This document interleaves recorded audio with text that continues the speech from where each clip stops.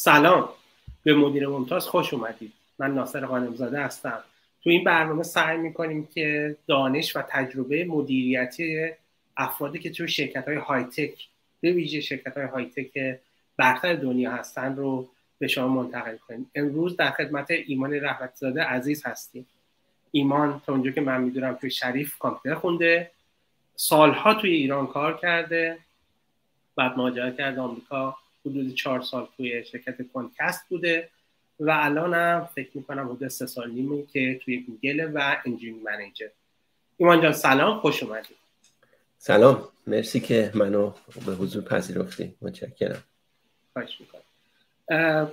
آیا دوست داری خودتو دقیقتر و عمیقتر معرفی کنی از گذشته خیلی دور تا الانی که سالهاست توی گوگل engineering manager؟ و تجربه نه راستش نه. همین همین خلاصه کافی بود که برای شنونده و بیننده فکر نمی‌کنم بیشتر از این اهمیتی داشته باشه. همینقدر کافی. خب خب. من دوستم یه کوچولو اول راجع به engineering management و اینکه تو چی کار می‌کنی توی گوگل صحبت کنیم و بعد تجربات تو سه چهار تا حوزه که می‌تونه برای تیم ها خیلی مفید باشه. مثلا یه حوزه که کمتر راجبش صحبت میشه یعنی default گرفته میشه. مثلا اسکرام رو فکر می‌کنم که دوست داریم امروز مقدار راجبش بیشتر صحبت کنیم که اسکرام گاهی اوقات می‌تونه صدمه زننده هم باشه بر برخلاف اینکه خیلی جاها استاندارد گرفته میشه و خیلی متد خوبی دونسته میشه. و و راجب چیزهای دیگه هم می‌تونیم امروز با هم صحبت کنیم. یه کوچولو راجب کاری که الان داری می‌کنی توی گوگل بگو اونجاشو که می‌تونی بگی. و بعد در واقع عمیق‌تر بشه حتما. من توی Firebase هستم. Firebase یه پلتفرم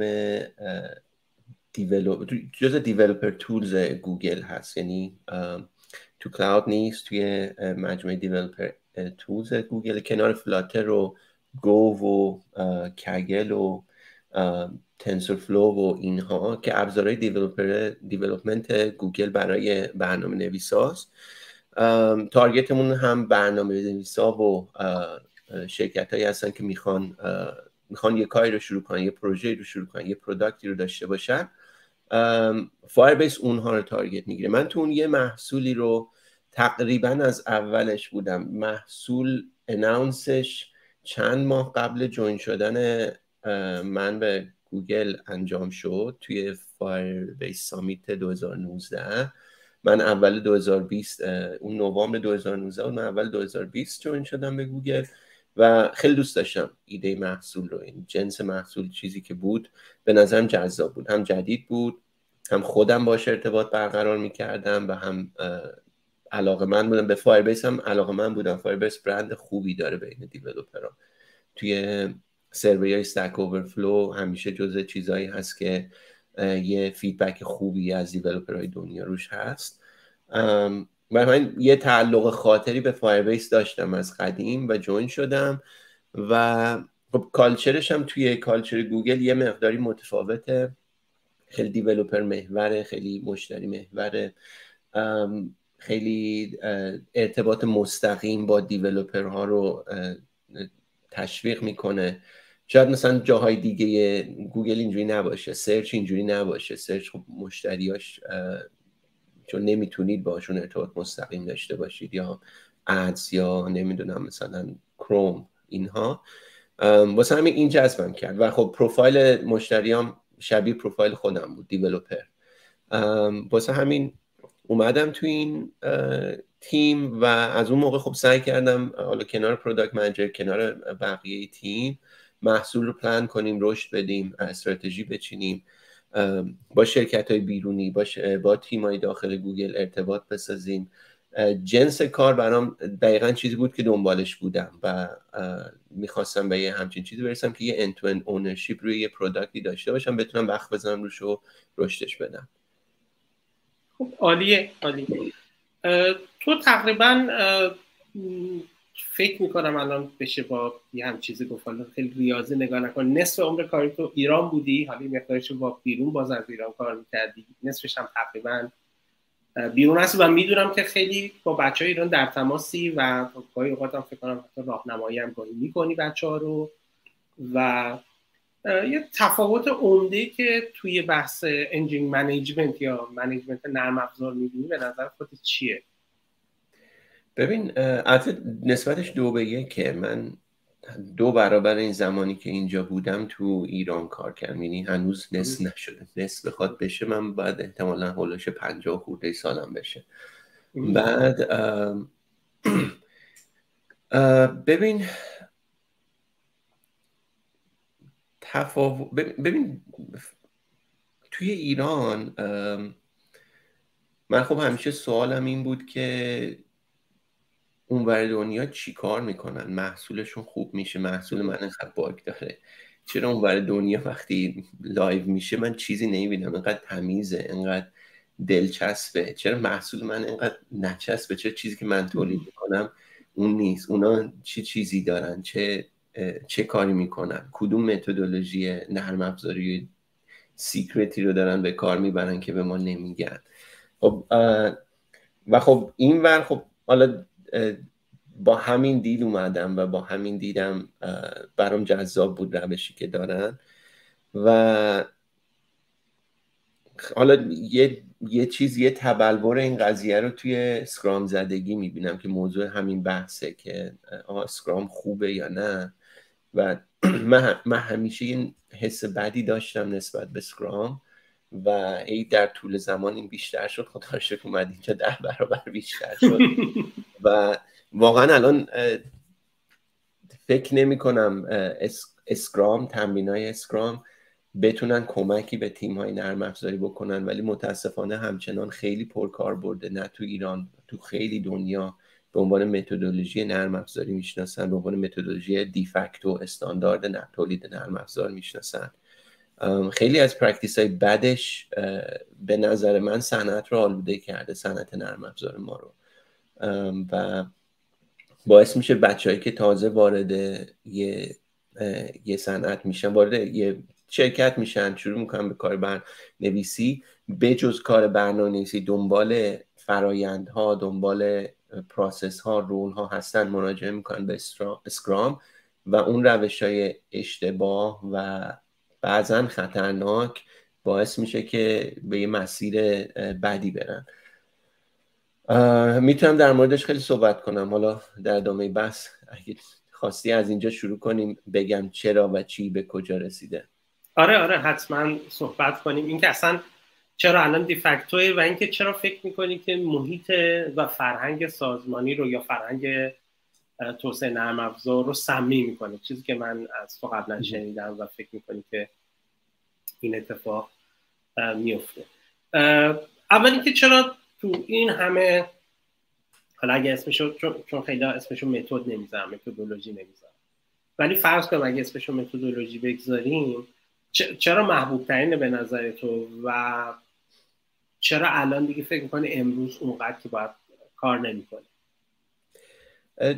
ببینید توی دهه 90 که حالا متدولوژی ها بسیار سنگین بودن. اگه یادتون باشه RUP و USDP و نمی‌دونم یه سری های بسیار سنگین document محور document این تولید کن اونو تولید کن نمی‌دونم 20 جور document 20 جور design فلان اینها. یه جنبشی راه افتاد توسط یه سری افرادی که واقعا دوستشون دارم. یعنی همچنان هم برای اون نفرات core Agile خیلی من قلبا احترام و خیلی عزیزن.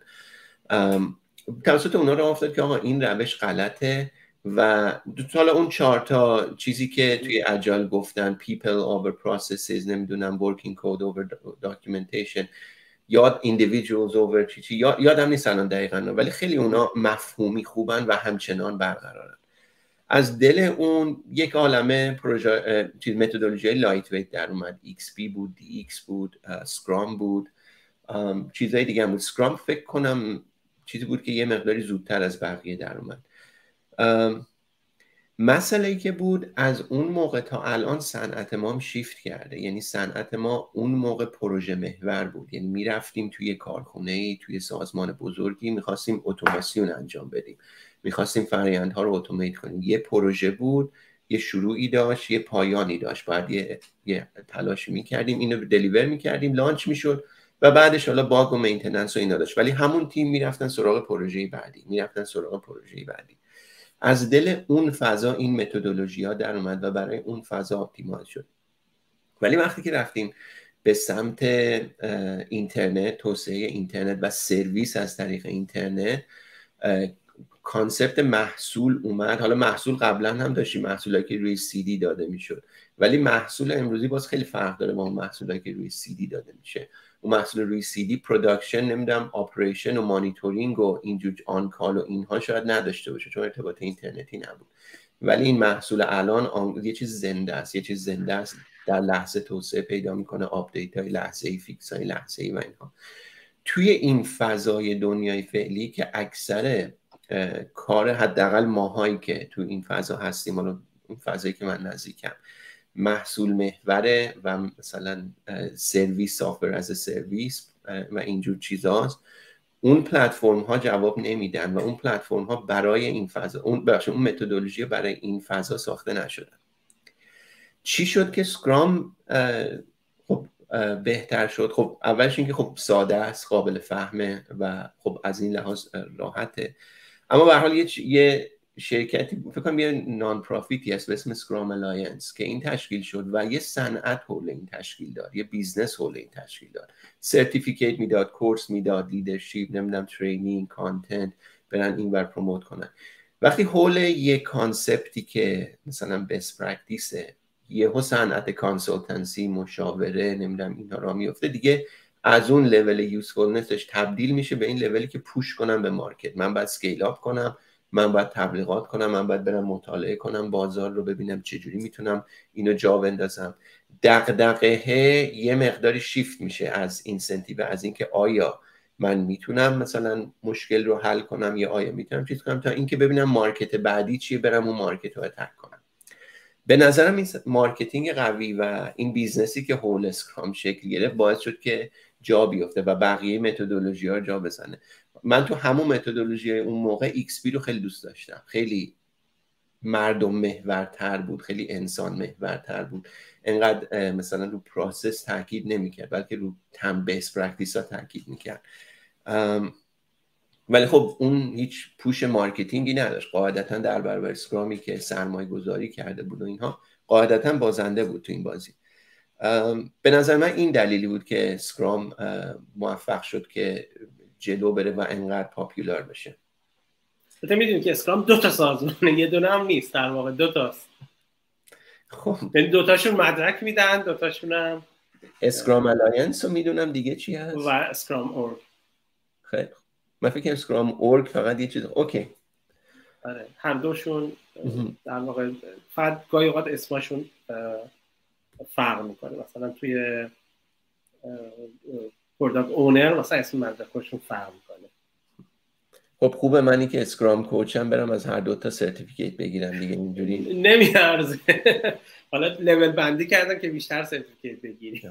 خب به scale up و upsell و اینها باید باشه دیگه تو business آره آره. خلاصه و خلاصه برای دوبله الان تبلیغ می‌کنن و چیز می‌کنن. خب و به نظر تو به خاطر این marketing بیشتر جو افتاد نسبت به Kanban، XP، Lean و بقیه در واقع چارچوب های عجب درسته. ببین وقتی که یه شرکتی یه شرکت کوچیک یه شرکت بزرگ یه تیم جمع می‌کنه واقعا یه سوال جدی پیش میاد واسش جواب دارن که چجوری این تیم رو manage کنیم یا چجوری performance این تیم رو بالا ببرم. و Scrum خب یه solution آماده یه لقمه جویده شده جلوی همه می‌ذاره. که خب مثلا آلترناتیو هایی که هست برای این چیزها اونها دنبال marketing اینا نبودن. مثلا روشی که گوگل انجام میده فیسبوک انجام میده آمازون انجام میده نمی‌دونم شرکت های دیگه شرکت های کوچیکتر حتی. اینها انجام میدن. اینا واقعا دنبال marketing این نیستن. بیشتر بیشتر توی صنعت این به اون این شرکت به اون یکی رفته اینو برده اون تکمیلش کرده برده. evolutionary cycle بوده. اینجا هی دائما هر کی برا خودش customize ش می‌کرده. ولی کسی دنبال صنعتی کردن این نبوده و خدا رو شکرم نبوده. یعنی وقتی این صنعتی بشه باید واقعا move on کرد به یه چیز دیگه. یعنی بخوان دوباره این رو فروش قابل فروش کنن certificate بدن نمی‌دونم چی چی بدن training بدن این چیزا. دوباره این میره توی قضیه این که خب من چجوری business م scale up کنم چجوری بیشتر بفروشم. هی بعد آتیش نمی‌دونم چی کنم. هی آب ببندم توی قضیه. okay. یه لحظه این خب پس در واقع تو منظور اینه که الان اینجوری میگی که Scrum تو این شرکت ها به کار برده نمیشه درسته؟ عملا کسی سوال نمی‌پرسه که Scrum به کار می‌بری یا چیزی به کار می‌بری. یه تیم دارم من مثلا من نوعی یه تیم دارم پنج نفر ده نفر. باید این تیم کار رو انجام بده. چیزی که شرکت از شما می‌خواد اینه که این تیم رو انجام بده. من این کار رو انجام کار رو deliver کن تیم رو ببر جلو product رو ببر جلو.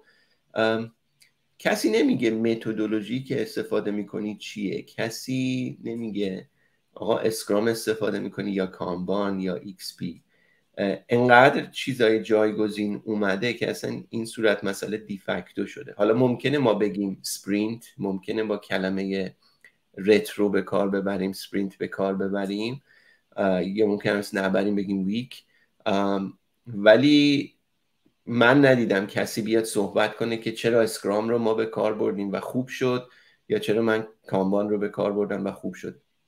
واقعا بلا موضوع شده متدولوژی و اینجور چیزا.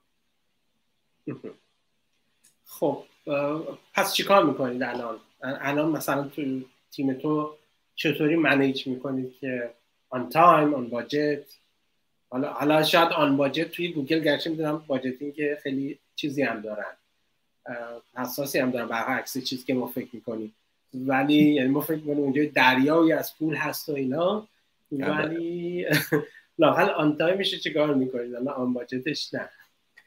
ببین من می‌خوام قبلش بگم که چرا Scrum رو به کار نمی‌بریم یا چرا Scrum رو فکر می‌کنیم من فکر می‌کنم که درست نیست. حتی حتی بقیه متدولوژی یا Kanban و بقیه. بعد از اون برسم که خب جایگزین چیه؟ برای همین سوالایی که تو, تو میگی. ببین مشکل Scrum چیه؟ من شاید مثلا تو دو تا بخش بتونم categorize ش کنم. یکی people ه یکی product ه خب people یعنی اینکه شما توی Scrum آدم ها رو چی می‌بینید development آدم ها رشد آدم ها happiness آدم ها اینکه آدم ها من بتونم وقت بذارم روشون ضعفاشون رو برطرف کنم. اینکه من بتونم این آدم رو تبدیل کنم به یه لیدر. اینکه بتونم یه آدم رو تبدیل کنم به اون چیزی که می‌خواد. حالا می‌خواد یه developer خیلی خفن بشه می‌خواد یه لیدر بشه می‌خواد چیز دیگه ای بشه. تو اسکرام راجع به این چیزی می‌بینیم. تقریبا هیچی. یعنی حد اکثر اینه که آقا رترو داشته باشید. اگه مثلا یکی ناراحت بود همه دور هم بگید خب چی کار کنیم بهتر بشه.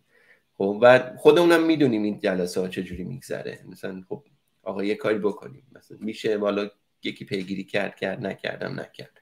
ولی آیا واقعا کسی هست که این مسئله رو اون کنه که منه که توی تیم Scrum هستم دارم برنامه نویسی می‌کنم امروزم با فردا متفاوت باشه. من من یه انسانم. آیا منو متفاوت با یه مثلا می‌خوام کلمه بدی به کار نمونم ولی با یک ربات می‌بینید که باید task انجام بده. task task task task.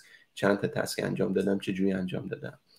یه, یه بخشش تو people ه که هیچی نداره Scrum و باعث میشه شما اون رو پیاده سازی کنید. کلا people توی تیمتون رشد نکنه. نتونید آدم develop کنید نتونید leader develop کنید و هزار تا مشکل برای شرکت به وجود میاد. یه بخش دیگهش تو product ه که مفهوم product کو product manager کو نقش فوق العاده ای که یه product manager می‌تونه داشته باشه توی develop یه محصول توی هدایت محصول. product manager و product manager ها تیم product management که با هم کار می‌کنن این کو. یه concept ی داریم به نام product owner که این صد برابر سمی‌تر از همه چیز بوده که حداقل ماها یکی رو مثلا تو LinkedIn ش می‌بینیم product owner یعنی چی؟ product owner چیه؟ مثلا یعنی تو Scrum تو backlog چیز می‌کنی مرتب می‌کنی؟ یا product manager ی product management یه concept فوق العاده ایه تو مثلا باید توان leadership محصول توان استراتژی استراتژیک توان هدایت آدما هم‌افزایی بین تیم‌های مختلف داشته باشی. بری تیم رو unblock کنی برای برای development محصول. بری insight بگیری از مشتری. این نقش کو هیچی دیده نمیشه. خب می‌تونیم بگیم که آقا Scrum قرار نیست این سوال ها رو جواب بده. ولی Scrum با insert کردن یه چیزهایی یه بگیم مثلا یه junk food ی به شما داره میده که شماها سیر میشید و اون گشنگی اون گرسنگی که باید داشته باشید راجع به جواب این سوال ها رو از بین می‌بره. خب من من ایراده بزرگش رو تو این دوتا دسته می‌بینم. یعنی می‌تونیم تو هر کدوم اینها وارد شیم و بگم چرا وقتی این میایم این مسائل رو حل می‌کنیم تو این شرکت ها یا تو, تو شرکت خودمون میایم این مسائل رو حل می‌کنیم اون وقت می‌بینیم مثلا جایی برای Scrum نیست. مثلا چه, چه چیزی داره Scrum که بخوام بعد Scrum باشم یا یه چیز دیگه. من هفته‌م رو شروع می‌کنم بچه ها دوره هم باید کارشون رو انجام بدن با هم دیگه update بدن جایی که لازمه communication داشته باشن. برن جلو کار deliver کنم و بیان و بیان ما launch کنیم محصول اون چیزی که اون چیزی که سوال منه که performance رو چجوری improve کنم. اون چیزی که سوال منه که چجوری بتونم محصول بهتری داشته باشم چجوری بتونم bug هام کمتر باشه defect هام کمتر باشه مشتریام راضی تر باشن. metric های سازمان رو ببرم جلو اونها هیچ کدوم تو Scrum جواب داده نمیشه. البته در مورد performance باز یه solution بسیار سمی داره Scrum می‌تونیم در مورد اونم صحبت کنیم. اونم point story point و این چیزاست. که نمی‌دونم خود Scrum توصیه می‌کنه یا نه ولی mainstream ه. خیلی خیلی جا وقتی میگیم ما می‌خوایم performance رو اندازه بگیریم یا نمی‌دونم بهتر بکنیم story point میاد مثلا. story point و velocity و سرعت و آره. آره، اینها. که خود story point هم خودش این که واحدتون چیه؟ داریم تو بعضی app ا واقعا هیچ واحد عجیب غریبی نداره. تو بعضی app ا شده واحد ساعت اونجا که من می‌دونم. یعنی خیلی همینم هم چیزه درسته. بازه و چیز و حالا من فکر کنم باز حالا تجربه خودم رو بگم. فکر کنم باز اروپایی ها خیلی چیز دارن یه, یه لول توی حوزه عقبتن چون مثلا خیلی هنوز به product owner و اینا خیلی علاقه دارن لاقل شرکت غیر tech شون که کار tech دارن و خیلی مثلا role product owner رو خیلی دوست دارن. یعنی من حالا به دوستان میگم مثلا میگم یه جای دیدی مثلا نمیشه ما product owner می‌خوایم فرار کنه از اون بعد چیز کن. و یا بعضیشون اصلا product من حالا بعضیشون product manager با product owner یکی می‌دونن که این باز خوبه این خوبه البته. بعضیا نه میگه نگاه کن product owner کارش مثلا vision استراتژی نیست. یه لول بالاتره. تو فقط به قول تو backlog حواست به backlog باشه بعد ما یه product manager بالا سر تو می‌ذاریم که و, و من چند وقت پیش تجربه مستقیم خودم داشتم صحبت می‌کردم. و اون, اون کارهای vision و اینای product اون handle می‌کنه تو همین backlog حالا خیلی خلاصه بخوام بگم بیشتر از backlog ه ولی backlog handle کن و certified product owner باش مثلا.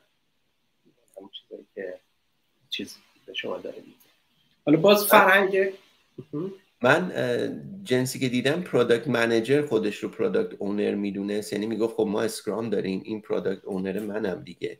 و شروع می‌کرد task کردن. خب اینو تو این هفته انجام بده اینو اینجوری انجام بده. بعد پیگیری می‌کرد که خب انجام دادی ندادی story point شو بزنم نزنم. کلا product manager میومد توی باطلاقی گیر می‌کرد و تنش هایی که بین developer و product manager ایجاد می‌شد قصه ها بود.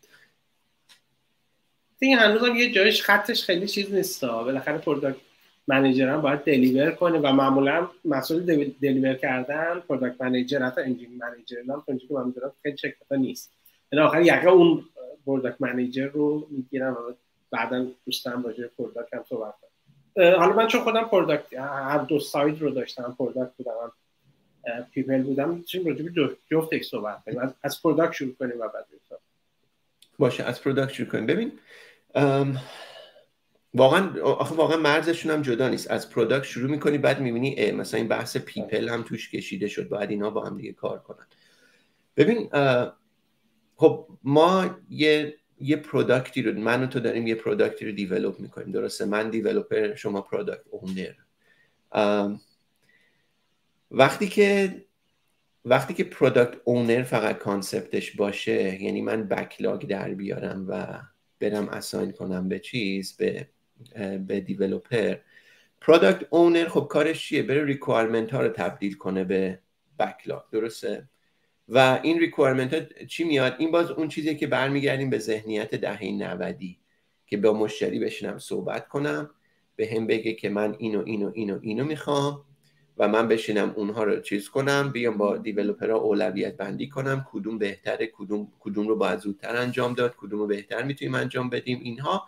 و بگیم خیلی خب این backlog من مرتب شده بچه از این task بردارید. درسته؟ خب ببین اولین چیز شاید اولین که نه ولی یکی چیز مهم product management اینه که مشتری به تو نمیگه چی پیاده کن. تو باید بفهمی مشکلش چیه و بعد بیای قصه رو حل کنی. product management از اینجا شروع میشه. بعد توی سازمان بزرگتر وقتی که یه محصول شکسته میشه به تیکه های مختلف یه, یه سرویس بزرگ شکسته میشه به تیکه های مختلف و هر تیکش رو یه product manager own می‌کنه یا اینجا بگیم یه product owner یه تمام کارهای شما overlap داره. تو نمی‌تونی یه بخش محصول رو چیز کنی یه بخش محصول رو دست بزنی و انتظار داشته باشی رو بقیه تاثیر نذاره. نه کاملا تاثیر می‌ذاری یه حجم زیادی از کار تو collaboration با product manager های دیگه از تعیین اینه که خب آقا بر اساس KPI های بزرگتر سازمان من کدوم اینها رو انجام بدیم؟ خب این یه بخشه. بعد اونی که انجام بدیم به حال تاثیرات شخصی رو اون product manager رو این می‌ذاره. اون دلش می‌خواد پروژه خودش رو ببره جلو نمی‌خواد تیکه محصول خودش تاثیر بپذیره. توی product manager با اون product manager باید توان negotiation توان همافزایی داشته باشید. یه leadership skill باید داشته باشید. بعد به جز این میای با تیم فنی میای با تیم فنی صحبت می‌کنی. بچه های فنی اگه product awareness داشته باشن اونها می‌تونن چیزایی بگن که آقا ما می‌تونیم با یه تغییر اینجوری یه همچین feature ی رو launch کنیم ما یا یه همچین چیزی رو عوض کنیم. تو یه sense ی می‌گیری از هزینه کارها. می‌فهمی که یه کار چقدر سخته چقدر راحته. یا یه تغییر کوچیک ممکنه برات خیلی سخت باشه چون impact می‌ذاره رو جاهای دیگه.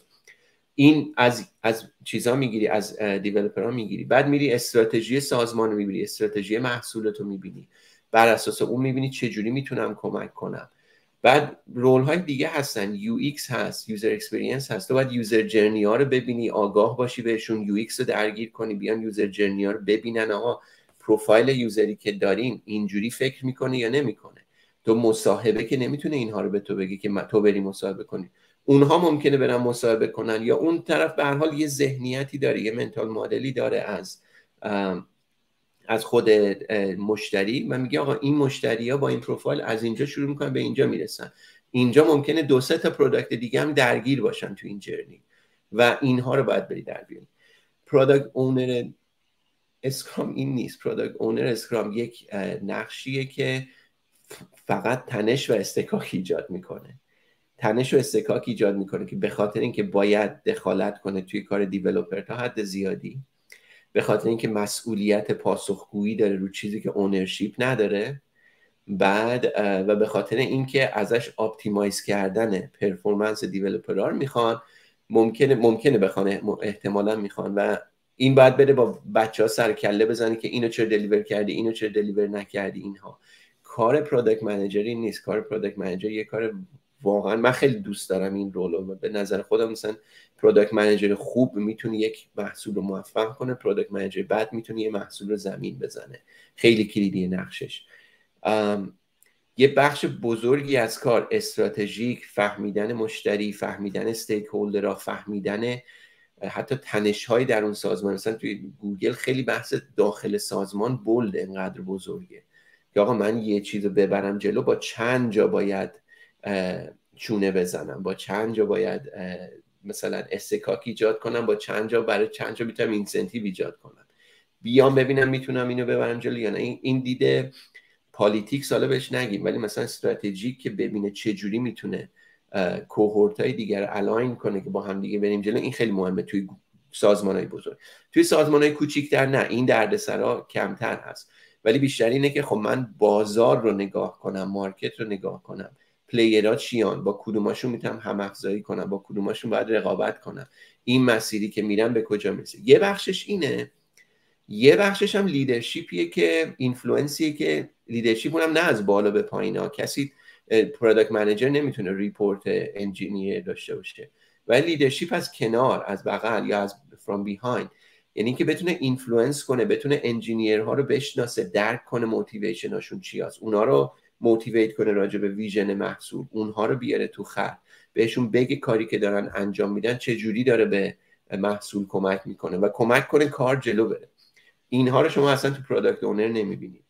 حالا اگر من من تازه اومدم تو صنعت اسمم product owner ه چالش دارم می‌خوام ببینم این چالش ها چجوری حل میشه. search م چیه؟ search م اینه product owner conflicts سری land می‌کنم رو سایت اسکرام و همچنان تو اون باتلاق حالا کلمش بده ولی همچنان تو اون باتلاق مطالبی که فقط business اسکرام رو توجیه می‌کنه می‌مونم که آقا اگر اسکرام مثلا اگر conflict دارید بیاید مثلا چه می‌دونم point بدید نمی‌دونم بیاید این کار کنید اون کار کنید. ولی میری تو اون concept همچنان تو این rabbit hole میری پایین. درسته؟ ولی product management اون وقت concept متفاوتیه. این title خودش به خودی خود باعث میشه خیلی ذهن ها انحراف پیدا کنه و مانع develop کردن افراد بشه تو مسیر درست. و حتی title product owner هم هست بشه بشه product manager و متوجه باشیم که product owner یه concept قدیمیه و باید کنارش گذاشت و product management چیزیه که الان جوابگوی خیلی از مسائل هست. همین کمک می‌کنه بریم تو اون مسیر develop بشیم. و اون مسیر چیه؟ الان اون مسیری که پیشنهاد البته می‌دونم که شرکت های مختلف رویکردشون خیلی مختلفه. ولی همین که قفل نیستن خودش بکنم یه خب همون مسیر product management یعنی product management رو تعریف کنیم product management product manager انتظارات رو داشته باشیم. product manager رو درست develop کنیم ازشون leadership بخوان leadership مهمه. ازشون آگاهی از باید technical sympathy داشته باشن بفهمن بحثای فنی رو تا حدی.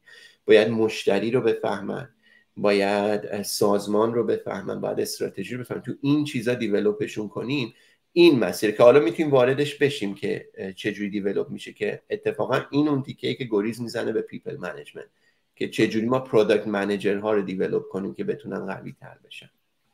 و آیا گوگل رویکردی برای این داره موقعی که مثلا یکی میاد مثلا حالا اول از engineer management شروع کنه؟ تو مستقیم با engineer management رفتی یا از engineer رفتی داخل؟ گوگل engineer manager بودم. از اول. و training خاصی داشت برای این یا همون اول می‌رفتی و نه اون که خب تو مصاحبه تشخیص میدن که تو engineer manager پروفایلت با پروفایلی که اونا می‌خوان match هست یا نه training خ... بین training به اون معنی که بیاید develop تون کنیم و فلان اینها ندارن. برای حداقل معنی که وارد شدن به engineer management. ولی یه سری چیزها هست که برای اینکه قانونا باید کاور کنن. یعنی مثلا من باید بدونم که چیز نداشته باشم. اسم کلمش یادم رفت.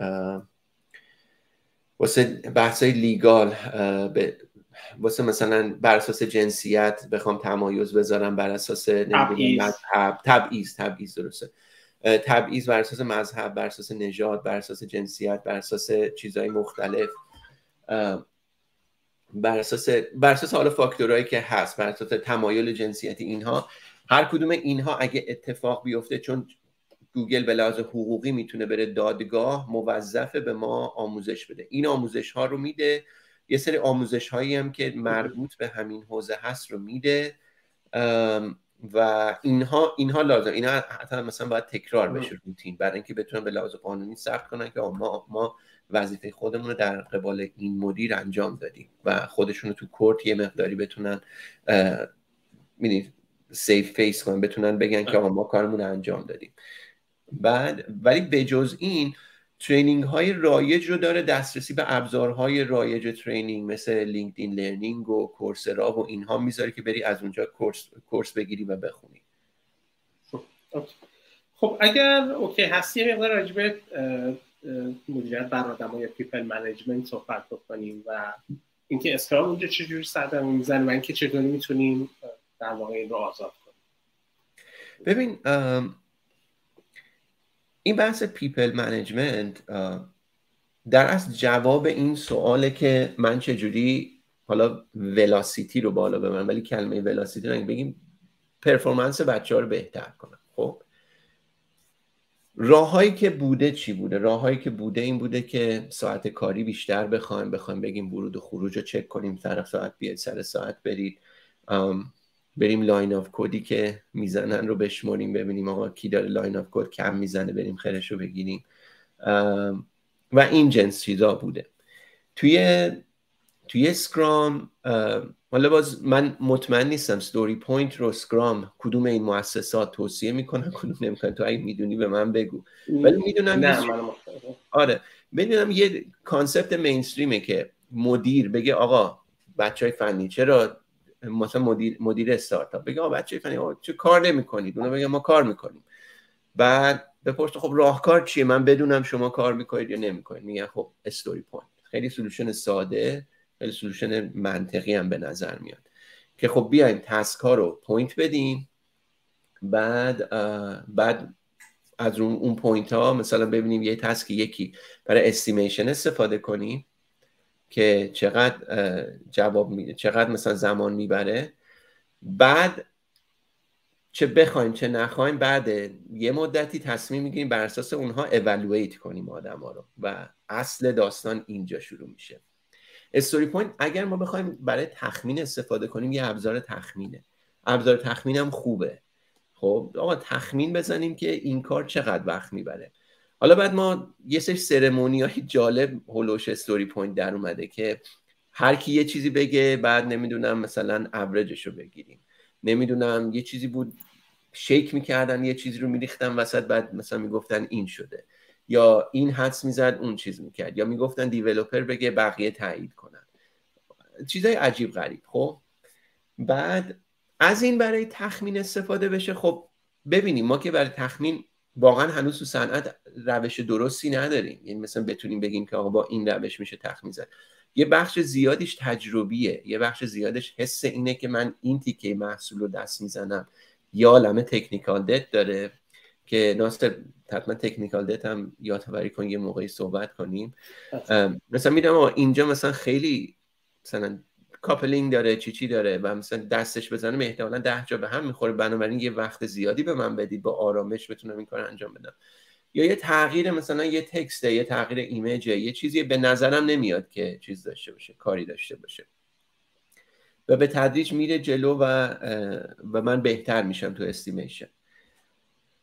برای estimation یه ابزار story point خب استفاده کنید برای اینکه اگر فکر می‌کنید کار می‌کنه استفاده کنید. اگر هم فکر می‌کنید کار نمی‌کنه استفاده نکنید. می‌تونید بعدا روی چیز روی story point ی که دادید و تخمینی که دادید بر اساس story point و بعد زمانی که واقعا طول کشید یه retro روی retro داشته باشید ببینید چی بود که یاد نگرفتیم ازش و یاد بگیریم برای دفعه بعد. خب تا اینجاش okay ه.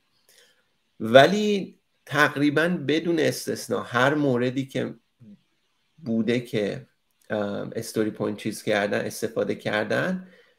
یه اومدن گفتن حالا ببینیم کی چند تا story point انجام داده. یا تو به نظرم performance ت کم شده. بیا story point رو ببینیم چقدر چیز یا تو performance یکی performance زیاد شده بگی من ببین story point هم بیشتر شده. خب؟ تا اینجا اول کار okay ه. ولی به محض اینکه این ابزاری بشه یه جوری correlate بشه با مرتبط بشه با performance افراد و performance افراد قاعدتا مرتبط با incentive شون یعنی حالا یا پاداشی باشه یا ستاتوسی باشه یا یا مثلا یه کردیتی باشه که من چیز شدم گیم میشه. اصلا بخوایم یا نخوایم گیم میشه. خب؟ خور نداره. ما انسان ها حتی نخواهیم هم جوری چیز شدیم برای ترس های ذاتی که داریم. ترس از تنهایی ترس از بیپولی ترس از ستاتس آروم آروم game می‌کنیم و می‌بینید که قشنگ در طول زمان تبدیل میشه به یه چیزی که game شده. و اون وقتی که موضوعیتش رو از دست میده و چالش های سازمان میشه دعوا سر story point و می‌بینید که story point ی دارید که به هیچ دردی نمی‌خوره.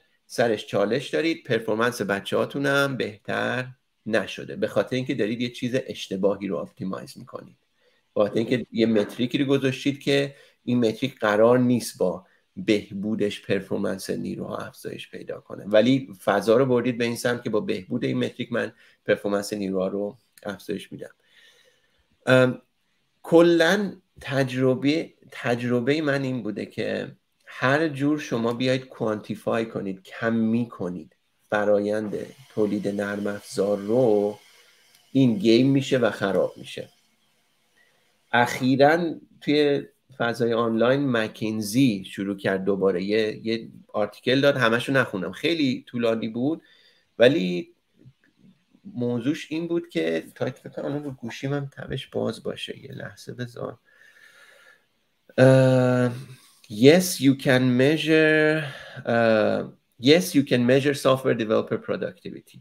یعنی بله ما ما چیز کردیم؟ ما یه کار کردیم که software developer productivity رو داریم measure می‌کنیم خب؟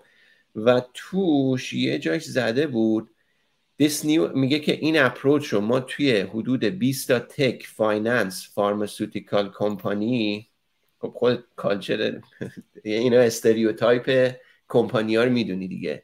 کمپانی که به خصوص با خط تولید در ارتباطن همون concept رو culture رو میارن تو خط خط تولید نرم افزارشون. میگن خب یه چیز دیگه. میگه تو این کمپانی ما initial result داریم. 20 تا 30 درصد reduction این customer reported product defects یعنی defect ها 20 تا 30 درصد کمتر شده. 20 درصد بهبود در experience ی که employee ها گزارش می‌کنن. 60 در 60 percentage point که نمی‌دونم یعنی چی بهبود در satisfaction customer ا خب؟ که این 60 percentage point نمی‌دونم چیه ولی خب وقتی percent رو میگی عدد چیز رو نمیگی عدد مبنایی که ازش تغییر کرده نمیگی نمی‌دونی واقعا از چی به چی تغییر کرده. مثلا اگر ما هزاران نمی‌دونم مثلا اگه ما دو تا defect چهار تا defect داشتیم الان شده سه تا defect مثلا percentage point این خیلی معنی نداره. ولی اگه مثلا هزار تا مثلا هزار percentage point مثلا customer satisfaction rating کم بوده 60 percent point اضافه شده خب چیزی اضافه نشد. نمی‌دونیم اینا چیه. ولی چیزی که توش معرفی کردن یه چیزی به اسم DVI که من Developer Velocity Index Benchmark که خلاصش اینه که survey ه survey می‌گیرن. که آقا مثلا چجوری بوده؟ فلان بوده. این ببین همون قضیه است. اول کاره. می‌تونی survey بگی به محض اینکه اینو connect کنی به performance طرف به incentive شخص یه چیزی که اون چی میگن؟ اون croc brain ما رو اون مغز ما، مغز لایه درونی ما رو مورد تهدید قرار بده ما game ش می‌کنیم. چاره ای نداریم. اون اون مغز مثلا میلیون ها سال دیولپ شده که تهدیدها رو زودتر از اینکه فکر کنم راجع به چیز دیگه باید پاسخ بدم. تهدیدهای من تهدید راجع به سلامت زندگیمه سلامت شخصیمه. همه به خاطر اینکه ما این موجود سوشال هستیم. به محض اینکه این بره اونجا همه شروع می‌کنن سروی و گیم کردن. شک نکنین کار می‌کنن و اتفاقا بعدش اومدن فکر کنم همین کنت بک که از همون اجایل لیدرهای اصلی بله. اون اومده کامنت گذاشته. یه, یه فکر کنم یه آرتیکل داده که آقا جفنگ نبافید. همچین کاری امکان پذیر نیست. نمی‌تونید این کار بکنید. و خودش یه مثال زده چون کنت یه مدت تو فیسبوک بوده مثال زده از فیسبوک که ما اومدیم اول گفتیم خب یه سروی بذاریم بعد گفتیم که خب حالا بیا تغییرات سروی رو ببینیم. بعد تغییرات سروی رو دیدیم گفتیم حالا مثلا سال بعد یه سال اومدیم گذاشتیم همه راضی بودن. سال بعد اومدیم گفتیم تغییرات سروی بدیم همه راضی بودن. سال بعدش اومدیم گفتیم خب باطل نکار تشخیص بدیم کجاها اومده پایین؟ بعد مثلا خب باز اونم همه مثلا خب بعد بعد اومدیم برای اونها مثلا فالتش رو پیدا کردیم. البته حالا نمی‌دونم دقیقا اینو گفته ولی یعنی اِوولوشن کار تکامل قضیه به بعد میره به آدم ها می‌رسه که هی تو چرا مجموعت؟ یه لیدری مثلا چرا مجموعت اینشدان شده؟ اون وقت قصه چیز میشه قصه میاد آقا بیایم خب چیکار کنیم؟ اونم اونم trickle down می‌کنه میره به مثلا manager ها و چیزایی میگه که زیر دستشن و کم کم این بازی از پایین به بالا game میشه. این این قضیه که این مشکلیه که وجود داره وقتی می‌خوایم performance رو measure بکنیم به قصد اینکه performance رو بهبود بدیم. حالا آلترناتیوش چیه؟ آلترناتیوش اینه که بیایم واقعا ببینیم آقا چی اون چیزی که من رو من برنامه نویس رو performance رو بالا می‌بره ما اون چیزی که performance رو با این پایین میاره اون چیزی که باعث میشه من بخوام توی سازمان آدم toxic ی بشم اون چیزی که باعث میشه من بخوام توی سازمان آدم موثر بشم اینها چیه؟ اون اون چیزای اصلی چیه؟ اونها رو بیام دست بذارم روشون. و people management همینه. چون واقعا انسان که اینجا دارن دارن درایو می‌کنن و تو بدون در نظر گرفتن انسان بودن اینها میشیم آدمایی مثل Scrum task بهت assign بشه انجام بده. task بهت assign بشه انجام بده. با من من, من چیم اینجا؟ من فقط یه task assign من باید از task لذت ببرم دیگه. تو میگی task من بهت assign میدی کنم لذت ببرم. همین در, در همین حد. و حقوقتو داری می‌گیری و خب راضی باشی. خب نیست. آدمی یه موجود complex ه. خیلی مدل های زیادی هم هست در این مورد. اون درایو مال Dan Pink فکر کنم اسم نویسندهش اون کتابه که میگه سه تا چیز هست. motivation mastery و چی؟ incentive یه همچین چیزی. فکر کنم یه سه تاش این هاست که میگه آقا برای آدما رو دیدن برای اینکه شما پول زیاد به یکی بدی دیموتیویت ممکنه بشه. ممکنه پرفورمنسش رو خراب کنی. بعد واسه همین اومدن تحقیق کردن دیدن آقا سه تا چیزه. واقعا آقا تو یکی موتیویشن داشته باشی برای یه همچین چیزی. موتیویشن شخصی داشته باشی. یکی این که mastery بتونی داشته یعنی بتونی رشد کنی و بتونی بهش بلد باشی کار رو و بتونی با اون کار رو بهتر بشی. یکی دیگه هم قاعدتا incentive ه. حالا می‌خوام ببینم که اشتباه نگفته باشم. آن چک کن Drive Daniel Pink. Daniel Pink Drive summary شو اگه بزنم میگه که purpose purpose incentive نه. purpose یعنی دلیل. که حالا ما ما میگیم incentive یعنی دلیل داشته باشی که باید این کار رو انجام بدی. و اینه که خیلی خیلی مهمه و باید بتونیم باید بتونیم تو چیزا deal کنیم. people management میاد رو اینا کار می‌کنه. leadership میاد رو اینها کار می‌کنه. میگه چجوری چجوری من کاری انجام بدم که این developer ها خودشون بخوان خودشون motivate باشن برای اینکه کار بهتر انجام بدن. وقتی من همچین کاری بکنم دیگه اصلا لازم نیست من story point بزنم. لازم نیست من برم هی دونه دونه شونه هی انگولک کنم. چرا کارت انجام ندی؟ امروز زود اومدی دیر اومدی. من اگه یه چیزی براشون بذارم که خودشون بخوان به این برسن خودشون بدون من به اینو می‌رسن. ببین مثلا تو اگه به من بگی ایمان تو این کار انجام بدی آورده مالیت اینه آورده استاتوست اینه کردیتت اینه و اون چیزایی هم که تو دوست داری برات مهمه اینها رو بهش می‌رسی. اینو به من بگی قطع کنین مکالمه رو. من خودم رفتم دنبالش. خب؟ درسته؟ من خودم رفتم نقشش رو چیدم برنامه چیدم انجام دادم میرم جلو دلیورش می‌کنم. به خاطر اینکه برای خودمه برای اینکه به من نفع شخصی می‌رسه. و نفع شخصی هم این نیست که من تو رو فراموش کنم. شاید نفع شخصی من این باشه که من بخشی از تیم تو هم و تیم تو به من یه استاتوس میده. من بخشی از شرکت تو هم و شرکت تو برای من کار توش یه افتخار موفقیتش برام مهمه. من با اسم شرکت تو میرم به بقیه پوز میدم. من با موفقیت تیم تو یا کار کردم با تو میرم به بقیه پوز. اینها اگه باشه من خودم میرم کار رو انجام میدم. کل بحث people management این هاست کل بحث people management اینه که این ساختاری رو بچینن که آدم ها خودشون بتونن خودشون deliver کنن. توی Scrum این فراموش میشه یه product owner هست تق تق یه کار می‌گیره تق تق تق تق و دونه دونه به آدم ها assign می‌کنه انجام بده بیا تحویل بده. آخرم یه retro می‌ذاریم ببینیم مشکلات چی بوده چی, چی نبوده. یه Scrum owner هم هست که میاد این Scrum رو مثلا باید مثلا موضوع باشه درست اجراشه. احتمالا یه coach هم داری چیزای دیگه هم داری. خب قشنگ هویت آدم ها اینکه منو چی motivate می‌کنه از این قضیه رفته بیرون. شاید بگن آقا اون مسئله ما نیست. برید اون جای دیگه حل کنید. که خب میری وقتی میری اونو حل می‌کنی میای Scrum نگاه می‌کنی می‌بینی برای چی من باید اینجوری کار کنم؟ مثلا روشی که من باید اجرا کنم برای اینکه اون حل بشه روش متفاوتیه. okay. و بنابراین تقریبا میشه گفت که حالا من می‌دونم تو تو چند تا تیم محدود بودی ولی به همین خاطر گوگل امازون و خیلی شرکت دیگه عملا Scrum رو کنار گذاشتن و سعی می‌کنم که با این رویکردها برن جلو. البته راجع آمازون من یکم بیشتر خوندم و کتاب هست راجبش خیلی بیشتر جالب راجع مدیریت آمازون. نمی‌دونم چرا خیلی بیشتر از مدیریت توی گوگل کتاب هست. چرا.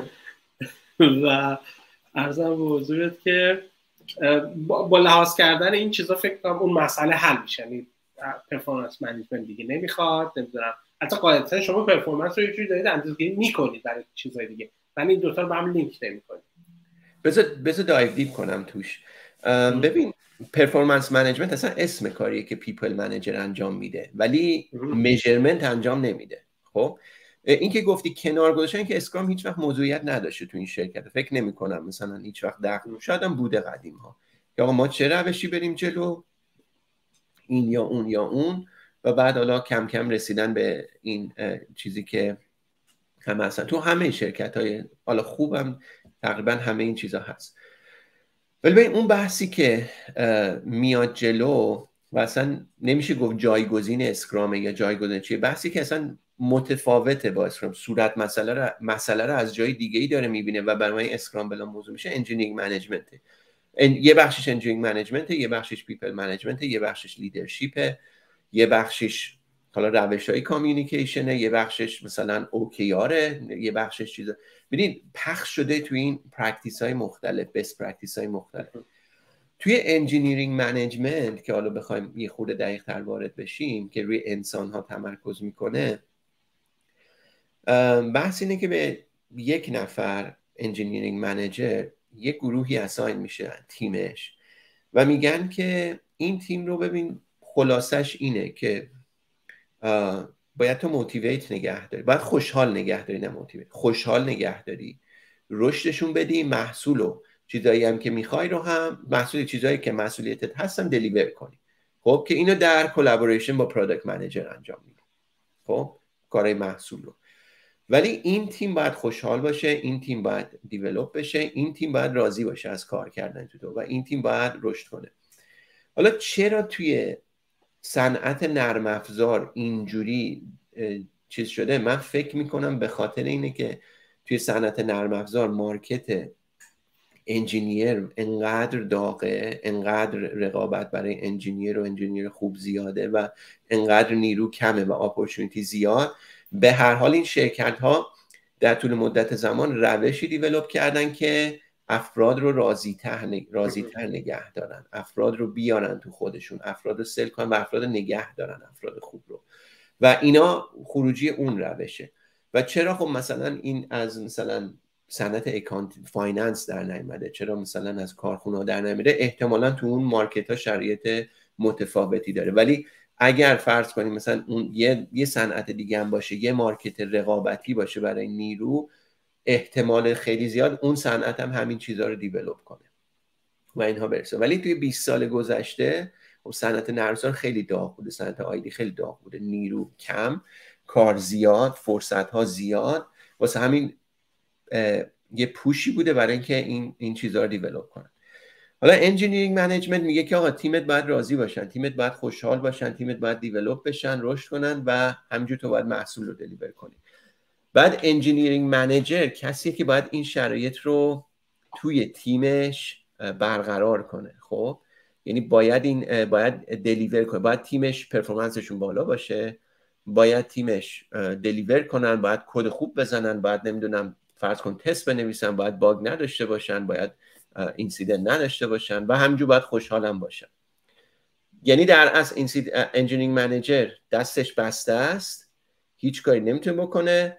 ولی باید نیروها رو خوشحال نگه داره. micromanage بکنه نیروها ناراضی میشن. بخواد بهشون دستور بده نیروها ناراضی میشن. بخواد نمی‌دونم فرض کن ساعت ورود و خروجشون چک کنه نیروها ناراضی میشن. بخواد نمی‌دونم line of code شون رو بشمره نیروها ناراضی میشن. چی کار باید بکنه؟ engineering ببین اینجاست که اون هنر engineering manager میاد که میره تک تک آدما رو می‌شناسه. تو manager من باشی میای می‌پرسی ایمان خب حالت خوبه فلانی اینا. تو تو چی برات مهمه توی کارت؟ چی کار می‌خوای بکنی؟ مثلا دنبال چی هستی؟ چی خوشحالت می‌کنه؟ من ممکنه بگم که من واقعا دوست دارم مثلا یه برنامه نویس خفن بشم می‌خوام مثلا رشد کنم. من ممکنه می‌خوام مهاجرت کنم. من ممکنه دورنمام اینه که CTO یه شرکت بشم. من دورنمام اینه که اینجوری بشم اونجوری بشم. من می‌خوام سویچ کنم به مدیریت من می‌خوام سویچ کنم به product management اینها رو تو می‌بینی و بعد میگی که خیلی خوب چجوری من می‌تونم کمکت کنم به این مسیر ببرمت؟ چجوری می‌تونم درایوت کنم؟ چجوری می‌تونم چیز کنم؟ چجوری می‌تونم کارهایی بیارم تو تیم برای تو بذارم که تو اینها رو دوست داشته باشی؟ این دیگه کار توه. میای می‌بینی من یه محصولی دارم اینجوری یه پروفایلی دارم اینجوری چی می‌تونم چجوری می‌تونم با دلیور همزمان با دلیور کردن محصول کارهایی به این دیولوپر بدم که بتونه اون چیزهایی که دوست داره رو یاد بگیره. این یه چیز.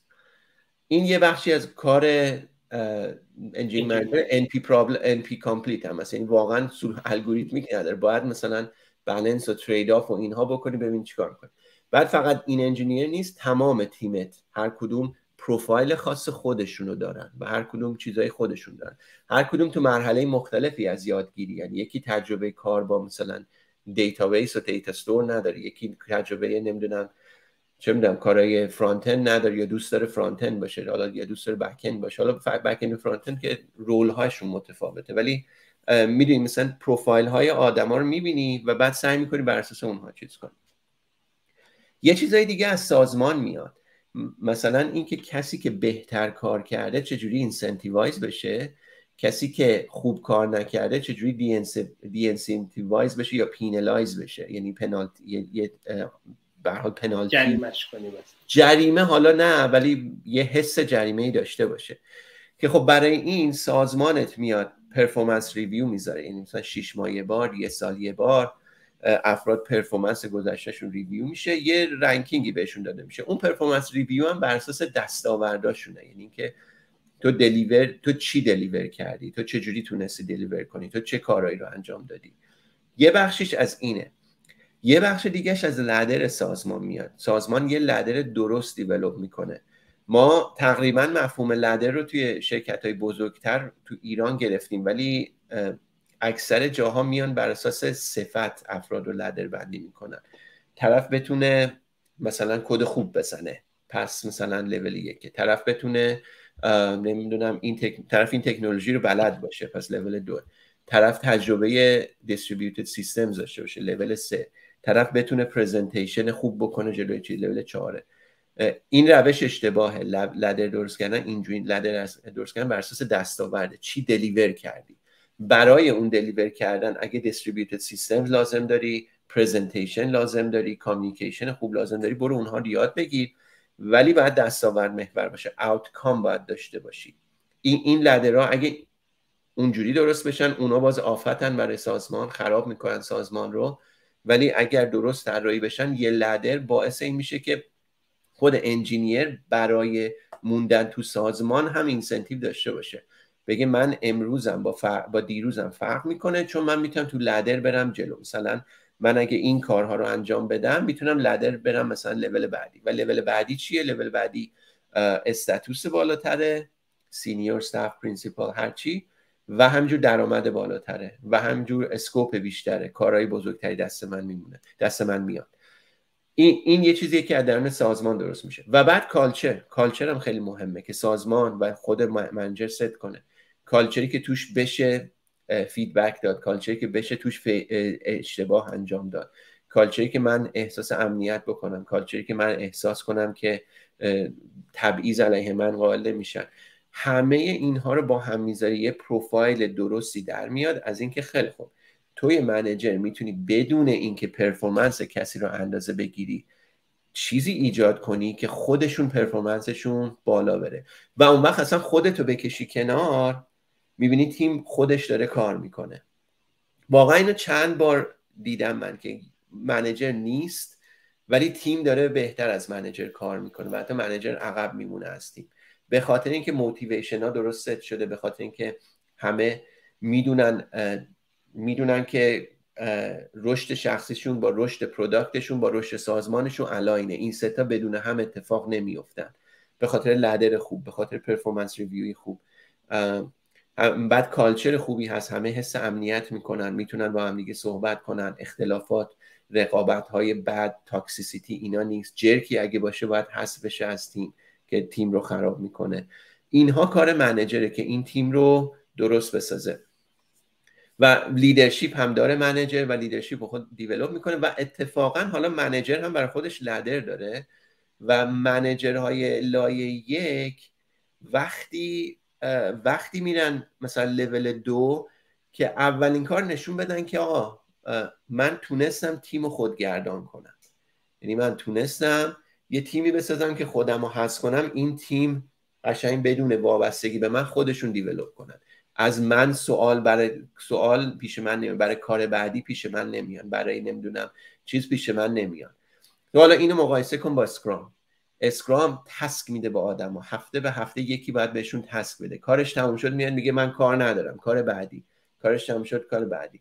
دقیقا این task دادن تو Scrum اولین لایه engineer یعنی junior engineer کسیه که بهش task میدی تمرین می‌کنه خوب کد زدن رو اینکه یه کاری رو صفر تا صدش رو انجام بده. یه task مثلا یه هفته ای دو هفته ای سه هفته ای رو.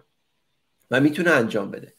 وقتی این میره یه لایه بالاتر تو همه ladder ها اینجوریه. همه ladder هایی که اینجا بودن.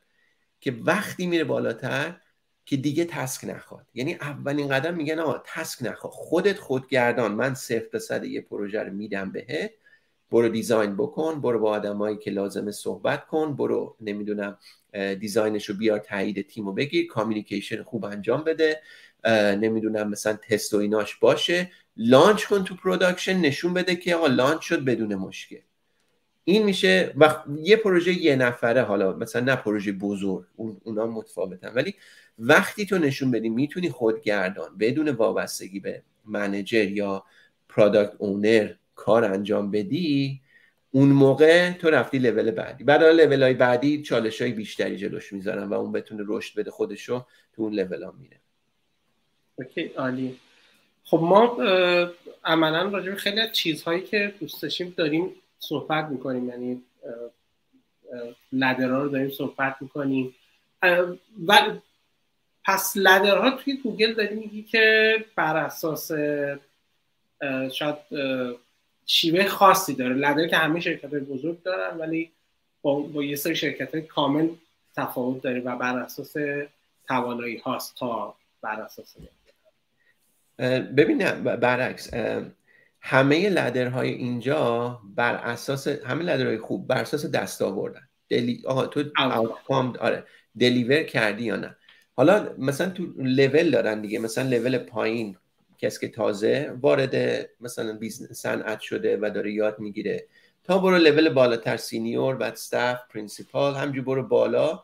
تا اگه وارد management بشی که به سی, سی تی او سی پی او یا SVP یا به در نهایت CEO می‌رسه.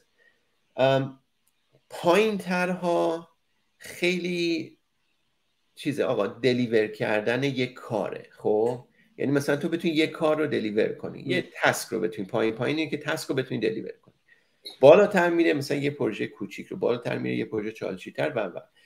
به تدریج هم که میره بالا فقط deliver کردن پروژه نیست. رو outcome ش هم تو رو شریک می‌کنن. رو outcome ش هم تو رو شریک می‌کنن یعنی میگن آقا این نتیجه داشته یا نه؟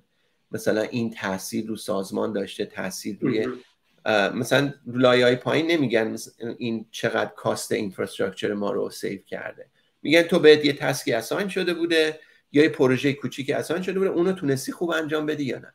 ولی تو لایه های بالاتر تو مسئول اینی که نشون بدی آن cost رو save کردی. توی لایه خیلی بالاتر اینه که یه cost save کردن فایده نداره. تو باید بتونی آقا نشون بدی یه organization تو هول دادی بردی جلو. در نهایت حتی تو لایه های بالاتر اصلا performance آدم خیلی اندازه گیریشون راحت تر میشه. می‌دونی؟ چون میگن نشون بده چهار تا KPI که تو own می‌کنه سازمانت. مثلا تو اگه director ی چهار تا KPI own می‌کنی. نشون بده اینا رو چجوری جواب کردی. در نهایت برای CEO ساده ترینه یه عدد داری board ازت یه عدد می‌خواد. اونم اینه که آقا revenue رو باید مثلا گولت اینجا بوده یا profit رو باید اینجا بوده یا EBIT رو مثلا باید ببینی. رسوندی یا نرسوندی؟ بقیهش دیگه ما کاری نداریم می‌دونی؟ ولی تو لایه پایین تر این تو ladder خب پیچیدگیش بیشتره. آره. به خصوص تو لایه مثلا اول بعد senior مثلا اینها خیلی هی باید بری توجیه کنی که آقا مثلا خب این اگه دلیور نشد به خاطر این بود که مثلا اون, اون تیم یه چیزیشو عوض کرد ما نتونستیم دلیور کنیم. که اینا برای اون لایه ها خوبه ولی لایه بالاتر میگه مهم نیست. تو باید رشد بدی در هر صورت. لدر توی گوگل حالا همه لدرها تو همه شرکت ها دائما در حال اولوشن چون یه جواب نمی‌تونن پیدا کنن چون نیازهای سازمان تغییر می‌کنه اولویت های سازمان هم تغییر می‌کنه. ladder یه روشی برای structure دادن culture هم حتی هست. یعنی باش می‌تونی culture رو تاثیر بذاری و تاثیر می‌ذاری رو culture هرچند ابزار شما برای تاثیر گذاری برای ابزار اصلی شما نباید باشه برای تاثیر گذاری رو culture ولی ladder ها تغییر می‌کنن. ladder گوگل حداقل تو این سه سال نیم که من بودم یه تغییر بزرگ کرد عوض شد. بعد چون خیلی هم بزرگی سازمان حتی توی مثلا org های مختلف اومدن یه adaptation ی ازش گذاشتن. بعد ladder کوانتیکس شرکت قبلی که بودم باز عوض شد در زمانی که بودم. مثلا یه مدتی اجرا می‌کنید جا میفته همه یاد می‌گیرن ولی بعد ضعفاش در میاد. که آقا این too much focus on this یا مثلا روی leadership زیاد focus نکردی یا تو leadership زیاد focus کرده. نمی‌دونم مثلا complexity رو زیاد focus کرده در حالی که مثلا complexity بر ما ارزش نیست. هی, هی لدر تکامل پیدا می‌کنه. ولی لدر گوگل هم یه جنس خاصی داره برای خودش. خیلی هم وقت گذاشتن چون سازمان بزرگی هم هست برای تمام رول ها لدر در بردن پروفایل در بردن گفتن از این از این لول به این لول بخوای بری چیکار باید بکنی؟ نمی‌دونم تو این لول چیا داریم چیا نداریم.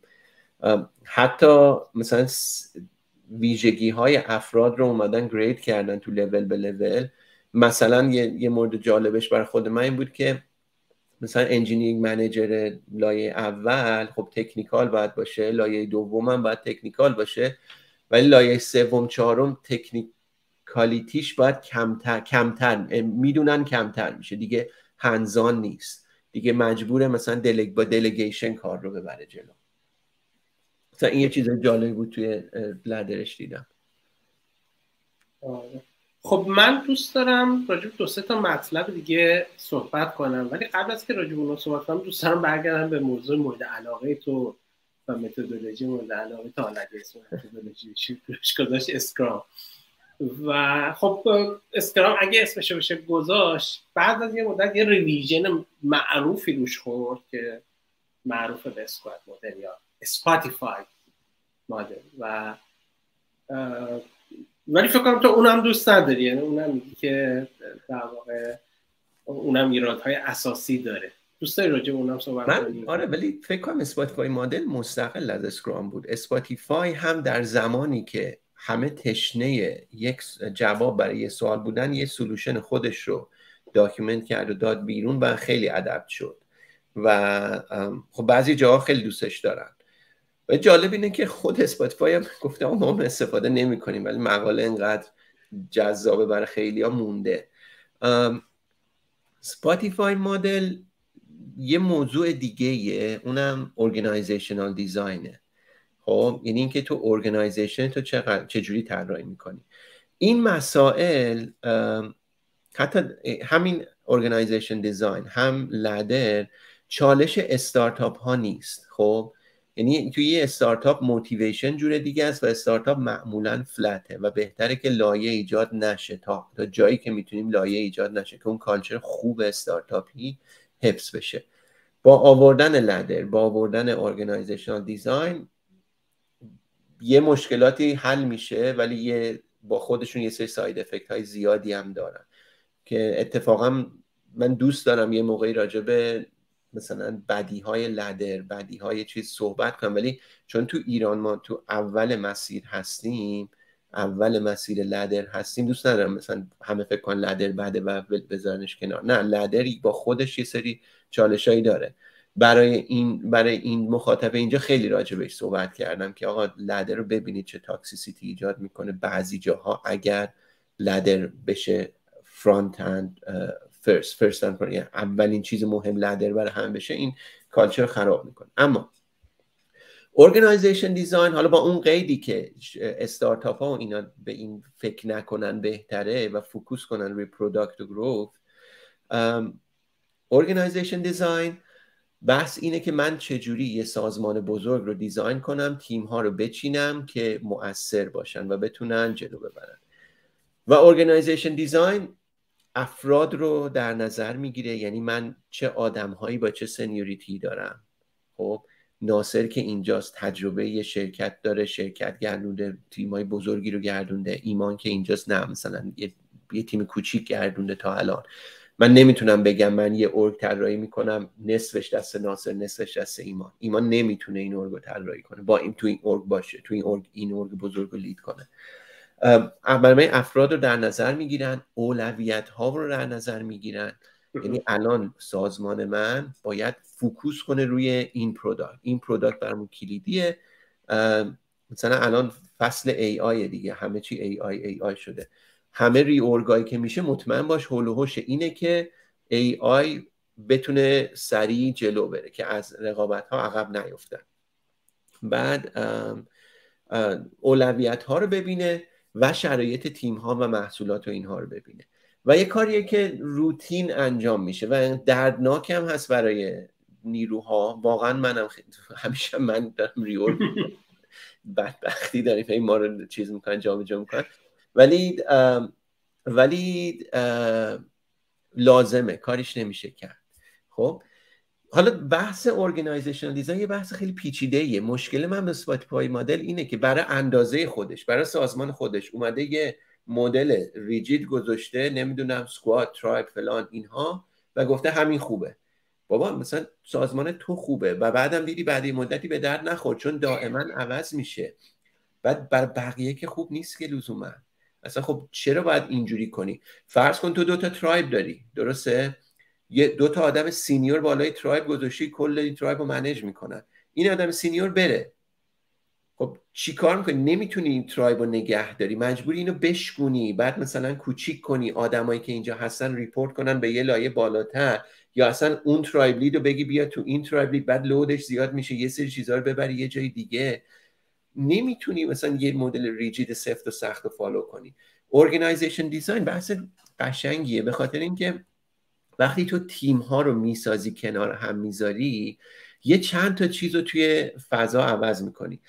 ببین با تیم وقتی دو, دو تا تیم رو می‌ذاری کنار زیر یه زیر زیر مثلا یه org خب در از اون org برای خودش برای اون org چند تا چیز اتفاق میفته یکی knowledge local میشه تو اون org خب. یعنی من اگر یه محصولی رو و یه تیم رو بردارم دو تیکه کنم به شما به اینا بگم این به اینا بگم این مال شما این دوتا تیم بعد یه سال نالجی دیولوب کردن که اونوریه نداره. خب ناخداگاه اتفاق میفته. کالچری دیولوب می‌کنن که اونوریه نداره. خب گول ها و گروثشون و این هم چیز میشه. متخصصینی دیولوب می‌کنن که اونوریه نداره. خب؟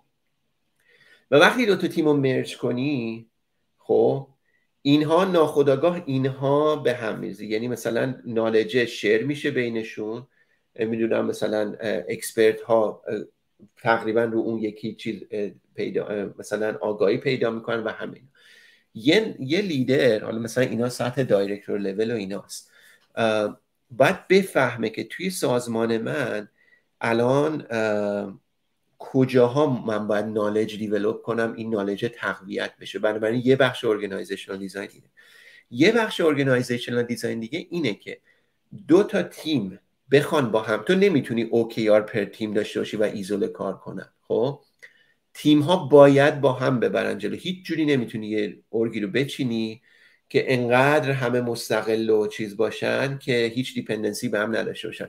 امازون خیلی optimize می‌کنه برای این کارا. یعنی میگه که تو تیمت مستقل باشه کاراتو خودت ببره گوگل اینجوری نیست. میگه آقا یه چیزی می‌خوای باید بری از اون تیمه حتما اونو با این بگیری و از چیز اون استفاده کنی. بعد حالا یه لیدر میاد می‌بینه که خب آقا این دوتا تیم مثلا این این تیم توی مثلا تیم ایمان تیم ناصر و تیم یکی دیگه برای اینکه من بتونم فلان اینیشیتیو ای آی رو ببرم جلو لازمه با هم کار کنن. خب لازمه با هم دیگه برن. یه مثلا databaseش دست ایمانه وسطش دست ناصره نمی‌دونم اون مثلا appش هم دست یکی دیگه است. خب؟ میگه اگر قرار باشه اینا تو سه تا org متفاوت باشن و دائما برن مثلا هی برای هر چیزی با همدیگه نمی‌دونم نامه رد و بدل کنن بعد OKR برای همدیگه ست کنن چیز کنن این کار پیش نمیره. یا من میام این سه تا رو re, re می‌کنم زیر یه, مج... یه نفر لیدر می‌ذارم که اون leaderه قشنگ اینا رو به خط کنه alignشون کنه سه تا تیم با همدیگه فوری ببرن اینیشیتیو جلو. یا اینکه اصلا merge می‌کنم تیم ایمان و ناصر رو ایمان مثلا نمی‌خواد دیگه manager باشه. میگه من خسته شدم مجبور می‌خوام برگردم به IC بخوام engineer بشم. خب چه خوب. تیم ایمان رو میدم به ناصر. ایمان هم مثلا report می‌کنه به ناصر. این میشه یه تیم. خب یعنی بر اساس شرایط روی زمین یه designی طراحی می‌کنه که بتونه اینیشیتیوش رو جلو ببره. مثلا AI می‌خوان یه چیزی deliver کنن جلو ببره. خب این این org design یه بحث fluid dynamic چیز لحظه به لحظه باید چیزها رو دید trade-off رو دید. آقا من دو تا تیم جور الان تیم ناصر رو آوردم تو این org اون تیمای دیگه که dependency داشتن بهش حالا اونا communication با حامد بر با ناصر براشون سخت میشه. خب؟ چیکار کنم اینها رو؟ خب بشه trade-off دیگه. اونها کامیکیشنشون سخت بشه OKRشون یه چیز دیگه ست می‌کنم. فعلا اون OKRایی که میبردن جلو نمی‌خواد. آقا اولویت من AI ببینید یه بحث fluid dynamic مهندسی management leadership کلی چیز نمی‌تونیم یه ساختار بیایم بگیم این این این همه از این follow کنن. نه ببین شرایط روزت چجوریه ببین تو سازمانت کی هست ببین کیو خوشحال می‌کنی کیو ناراحت می‌کنی ببین کجا اصطکاک زیاد می‌کنی اصطکاک کم می‌کنی. انتخاب کن. این تو مثل technical debt organizational debtه تو organizational debt ایجاد می‌کنی ولی درستش رو ایجاد کنی اتفاقا به نفع سازمانته. میگی من اینجا اصطکاک ایجاد می‌کنم ولی میام اینجا این اصطکاک کم می‌کنم به خاطر اینکه با اینجا من می‌تونم مثلا یه دستاورد خیلی بزرگی داشته باشم. عالی. خب من دوست می‌کنم راجع به OKR صحبت کنیم با اینکه شاید برای تو جذاب نباشه. خب OKR رو با اینکه خب مبدعش گوگل نبود و عملا از اینتل اومد توی گوگل. مثلا خب گوگل خیلی معروفش کرد و واقع برندش کرد. برند درسته نیست جهانیش کرد اینجور شاید بهتر باشه. خب OKR خیلی منتقدین زیادی داره یه drop ش کردن. مثلا دارم آمازون OKR استفاده نمی‌کنه. شما چطوری OKR رو استفاده می‌کنید که اوکی اون هم ضربه نزن؟ چون گاهی اوقات اون هم باز میان به incentive ربطش میدن بعضیا. یعنی تو پیاده سازش ایرادهای جدی هست. ببین دقیقا همین. OKR می‌تونه اگه اگر OKR برای شما objective و key result برای شما محور بشه و تو همه چی نفوذ کنه آفت برای سازمان. به خصوص تو bonus incentive ها وقتی به OKR ربط میدی باز باعث gamify شدن OKR میشه. باز باعث چیز میشه باعث rigidity میشه تو سازمان.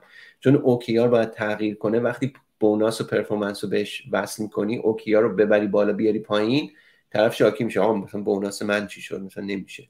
خب؟ بنابراین OKR می‌تونه خیلی بد باشه ولی می‌تونه خیلی خوبم باشه. توی سازمان های بزرگتر باز, باز من فکر می‌کنم توی استارتاپ ها لازم نیست.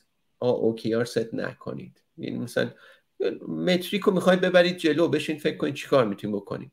ولی OKR توی سازمان بزرگتر یه ابزار communication ه یه ابزار alignment ه و یه ابزار prioritization هم هست. یعنی prioritization ها رو communicate کنید. خب؟ یعنی اولویت بندی ها رو توی سازمان توی سازمان بزرگ مدیر عامل ممکنه بگه که آقا objective های ما امسال اینه. مثلا ما بشیم چه می‌دونم ما بشیم جز ده تای برتر provider این در دنیا provider این سرویس در دنیا. بعد key result اش چی هست؟ مثلا A و B و C و D این به این org این به اون org اون به اون. منی که زیر یکی از این org ها کلیتی نگاه می‌کنم می‌فهمم سازمانم اولویتاش چی هست خب؟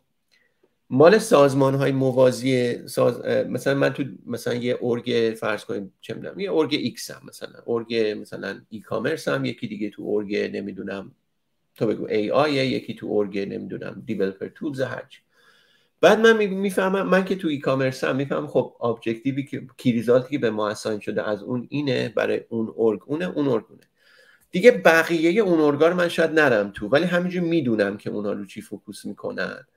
بعد خودم می‌فهمم که key result ما اینه. بعد objective ای ما چیه؟ objective ای org ما چیه؟ اون رو هم می‌بینم. و بعد خودم هم تیم خودم رو objective ام و key result ام می‌دونم. اگر من بیام objective امو جوری ست کنم که هیچ ربطی به مثلا objective های org م objective های چیزم نشه باشه سوال می‌کنن لیدران چرا این objective ا رو انتخاب کردی؟ خب؟ می‌بینی communicate داریم داریم می‌کنیم با هم دیگه. درسته؟ یعنی سوال میشه که چرا این objective ا رو انتخاب کردی و چرا اینجوری؟ بعد key result کمک می‌کنه که من حالا بگم واسه این objective چه کارهایی رو دارم انجام میدم و به کجا می‌خوام برسم؟ که خب اونها رو هم می‌بینم که اون مثلا پروژه هاییه که من انجام میدم. باز اینو communicate می‌کنم با بقیه. حتی مثلا فرض کن من این ور سازمان باشم. ناصر اون ور سازمان باشه. یه روز من میرم اوکیارا میگم ناصر اوکیارا تو میتی ببینم. من خب ببینم شما رو چی دارید کار می‌کنید؟ چون ممکنه یه اپورتونتی باشه با هم دیگه کار کنیم. تو اوکیارا تو شیر می‌کنی من می‌بینم و اون وقت تصمیم می‌گیرم چی کار کنم. بعد خب این کی ریزالت بعد چیز دیگه که منجرهای من با رؤسای من می‌خوام بدونن اینه که تو اولویت کدومه. تو احتمال زیاد نمی‌تونی همه این کی رو تو همه این objective ا رو برسی. خب؟ کدومشون ریسکش بالاتره؟ اگه نرسی کدومش ریسکش پایین تره که من میام میگم آقا این به نظر من مهمترینه. اینم اینجوری تضمین می‌کنم انجام بشه. بعد اینه بعد اینه. اینم مثلا گذاشتم اگه رسیدیم انجام بدیم. حالا بعضی جاها میگن مثلا جوری key result رو طراحی کن که چیز بشه مثلا استرچ گول باشه فلان باشه نمی‌دونم به 70 80 درصدش برسی به 100 درصدش برسی. این اینا چیز جدی نیست. یعنی اگه فکر می‌کنید کمک می‌کنه انجام بدید. اگه فکر کنید کمک نمی‌کنه انجام ندید. هیچ اشکالی نداره ابجکتیواتون رو میت کنید. دلیل نمیشه که مثلا شما ضعیف طراحی کردید یا استرچ نکردید. نه لزومی نداره اینجوری فکر کنید. می‌تونه دلیلش باشه ولی لزومی هم نداره چیز باشه. حتی هی stretch goal طراحی کنید این این ممکنه ببخشید stretch goal مثلا 70 80 درصدش رو بزنید دائما. این ذهنیت جا میفته که اوکی من OKR امو نزنم یا OKR رو deliver نکنم. خب. این از این توی performance review OKR نمیاد. توی performance review نمیان بگن تو OKR ها تو meet کردی یا نه. توی bonus ت نمیاد باز دوباره retro، retrospective نگاه نمی‌کنن بخوان measure کنن اولویت کنن. OKR برای رو به آینده است برای communication برای alignment نیارید بگید که تو OKR هات رو deliver نکردی بنابراین performance پایین نه خب شاید یه اولویت دیگه پیش اومد. OKR ها قابل تغییرن شاید این وسط من دیدم که آقا business داره میخوابه. ول کن اینو من برم اونو انجام بدم. خب بذار fluid باشه بذار راحت باشن بذار همه انجام بدن. نه تو performance review بیاد نه تو incentive بیاد نه تو bonus بیاد ولی به شدت ابزار مفیدیه برای communication برای alignment برای اینکه همدیگر رو بدونیم که رو چی اولویتایی می‌ذاریم و موافق یعنی با توافق رو کار حرکت کنیم. توی بحث قبلی که با هم داشتیم راجع به organization debt صحبت کردیم. حالا من واژه management debt هم قبلا شد ولی خب معروف دت که تو شرکت های tech وجود داره technical debt ه که خیلی احتمالا فرض کنن که احتمالا تو گوگل یا شرکت های بزرگ با اون همه developer و developer خفن و درجه یک و به قول خودشون ای پی رو اینها ما technical debt نداریم. درسته؟ یا رویکرد تیم های شما به این چیه؟ به طور خلاصه بگم پر technical debt ه همه جا. یعنی همه این شرکت ها سیستمایی دارن که بد design شده سیستمایی دارن که زشت کد کثیف سیستمایی دارن که کلی ممکنه bug داشته باشه fail بشه تو production یا مثلا failure داشته باشه. complexity پیچیدگی legacy system که ممکنه هیچکی نشناسه چجوری expert اش رفتن. همه اینها فراوون هست. چیزی که یاد گرفتیم یاد گرفتم اینه که باش زندگی کنم و okay باشم و لزومی نداره مثلا یه چیزی کدش کثیفه بخوام بشینم درستش کنم. البته خب خوبه که practice هایی تو سازمان بذاریم که که جلوی کد کثیف و اینها رو بگیره. خب خوبه که اینها رو بزنیم ولی در نهایت تکنولوژی ها ایواف میشن آدم ها ایواف میشن ایده ها بهتر میشن. شناخت از بیرون شناخت از مشتری شناخت از تکنولوژی بهتر میشه و solution های جدید همین که تو ذهن ما نقش ببنده solution های قدیمی technical debt محسوب میشن یا legacy محسوب میشن. ببین organizational debt رو گفتم که یه نفر یه director میاد تصمیم می‌گیره کجا organizational debt بذاره و اسمش روشه, روشه بدهی. درسته؟ آره. من از کجا قرض بگیرم؟ بابت این بدهی سود بدم؟ یعنی من برم از مثلا از بانک یه وامی رو بگیرم سود این درصدش رو میدم ولی میذارمش اینجا به خاطر اینکه اینجا ده برابر به من میده. خب؟ این این این نکته مهمیه. توی تکنیکال دت هم هم منیجر هم یه تکنیکال لیدر لیدر سطح بالا هم product manager همه اینها با هم میشینن میگن که آقا ما technical debt داریم داشته باشیم. ولی پولش رو نداریم وقتش رو نداریم فرصتش رو نداریم که بشینیم اینو rewrite کنیم. انقدر opportunity جلومون هست. این داره کار می‌کنه. اینو کسی نمی‌شناسه. ولی خب آره مشکل ایجاد شد. یکی بره کدش رو بخونه در بیاره و یاد بگیره اون تیکه‌ش اونو حل کنه. یا چیز کنیم یا بریم مثلا بریم back check کنیم ببینیم چه تغییری باعث این مشکل شده اون مشکل رو برگردونیم. خب؟ یا اصلا این تیکه رو تغییر کنیم تغییر ندیم. ما تو priority هم چیزی باشه که این اینو تغییر ندیم. این یه تصمیمیه که product manager و engineering manager با هم می‌گیرن. ما می‌تونیم دو تا feature رو الان پیاده کنیم. این یکی خیلی legacy ه آقا نکنیم. بریم این یکی رو پیاده کنیم. خب یه یه تیم باهوش product engineering manager و tech lead و نمی‌دونم product manager که اینا ممکنه role اشون یکی باشه ممکنه سه تا باشه ممکنه دو تا باشه. اونها میشینن فکر می‌کنن که من چیکار کنم تا حد امکان که سمت مثلا کد کثیف رو بازنویسی کردن نمی‌دونم rewrite کردن اینها نرم. من تو طول مدتی که اینجا کار کردم یک بار نشنیدم. یکی بگه این تکنولوژیش بده rewrite کنیم با تکنولوژی جدید. یک بار نبود یعنی میخندن این کار می‌کنم قاعدتا manager ی هم یه همچین چیزی رو approve کنه میگن این manager manager management بلد نیست. یعنی نمی‌دونه چیکار کنه.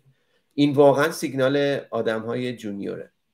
سیگنال آدم های junior یه که افراد junior ی که واقعا نمی‌دونن که اولویت ها رو چجوری assign کنن. بعد حالا آدم باهوش اینه که این این بدهی رو اتفاقا جاهای مناسب استفاده کنه. اتفاقا جایی که لازمه به کار ببره و و قرض بگیره تو جاهای درست technical debt ایجاد کنه. حتی واسه استارتاپ ها خب یه استارتاپ ها یه فازی دارن تا به product market fit برسن دیگه. یه چیزی رو یه experiment می‌کنن experiment می‌کنن experiment می‌کنن تا به یه چیزی می‌رسن میگن این این انگار می‌گیره این قلابه با مشتری با مشتری می‌تونه این رشد کنه. خب؟ اینجاها باید کد کثیف زد. باید انداخت دور. تو پول نداری وقت صرف نمی‌دونم design خوب و نمی‌دونم چی چی کنی. تو یه runway کوتاه داری و باید تو این چیز کنی. باید تو این بری جلو. باید تو این بری جلو و یه چیزی develop کنی که کار کنه. بعدا موقعی که scale می‌کنی اتفاقا باید برگردی technical debt هایی که داشتی رو اونا رو برطرف کنی. تو scale کردن استارتاپ ها همیشه همین مسئله رو دارن. یعنی مثلا اون خیلی هاشون با PHP شروع می‌کنن. به یه چیز می‌رسن. ولی می‌بینید تکنولوژی که باید رشد کنه مثلا PHP رو باید یا جایگزین کنن یا PHP رو evolve کنن. فیسبوک مثلا PHP رو evolve کرد. برای خودش مثلا یه PHP engine خفن نوشت که بتونه scale کنه. اینجوریه. یعنی واقعا تو یه سری تو یه سری مراحل شرکتت کارت اینها توجیهی نداره بری سراغ design عالی و توپ و اینجور چیزا. نه باید ببینی اولویت سازمان چی جایی که درسته دت ایجاد کنی. product debt هم به نظر من خیلی خیلی بدتر از technical debt ه و product debt چیه؟ product یعنی که توی محصولت یه ضعفی داشته باشی مشتری یه چیزی بخواد تو اونو پیاده نکنی. به حال product ت همیشه debt داره. همیشه مشتری یه،, یه،, چیزی داری که ده تا چیز داری که develop کنی. ولی یه دونش رو انتخاب می‌کنی و بقیه میشن product debt درسته؟ تو یه دونه رو انتخاب می‌کنی میگی اشکال نداره. من نارضایتی این مشتری ها رو به جون می‌خرم تو اینجا چون می‌دونم هزینه ای که برام داره کمتره ولی این یه چیز critical یه دارم مشتری از دست میدم. یعنی فرصت بی‌نظیریه. می‌تونم این market رو بگیرم. پس من برخلاف تفکر قالبی که وجود داره همیشه نباید technical debt گاهی اوقات می‌تونه خوب باشه trade-off در واقع. technical debt درست خوبه. technical آره. debt و استراتژی technical debt یه ابزار خیلی مؤثره که بتونید اولویت بندی کنید چیزایی که باید deliver کنید چیزای product تون خب من فکر کنم اون چیزهایی که سوالاتی که خودم توی ذهنم بوده و دوست داشتم از یه انجینیر منیجر توی گوگل در واقع بپرسم رو پرسیدم. تو دوست داری به این چیزها چیز اضافه کنی؟ چیز تو ذهنت هست که فکر خیلی کمک می‌کنه؟ یا کمک می‌کنه؟ من الان این کتاب رو دیدم. این کتاب رو اومدم تازه بخونم. اسمش چیه؟ The Creative Act The Way of Being. اینو هوبرمن معرفی کرد و با نویسندش مصاحبه می‌کرد ریک روبین. ریک روبین کسی که خواننده ها یه سری خواننده ها رو این پرورش داده. عدل و چند آره اون همونی که اینقدر ریش داره اینقدر مو داره. آره. یه شخصیت عجیبیه. ولی این فکر می‌کنم اگه اشتباه نکنم کتاب درسته یا نه نمی‌دونم. ولی آره ولی چیزی که جالب بود حالا این این این آدمی که تونسته خلاقیت رو تو این آدما آره. متبلور کنه و اینها بتونن محصول چیز اثرهای هنری شگفت کنن حالا من من اینو بخونم.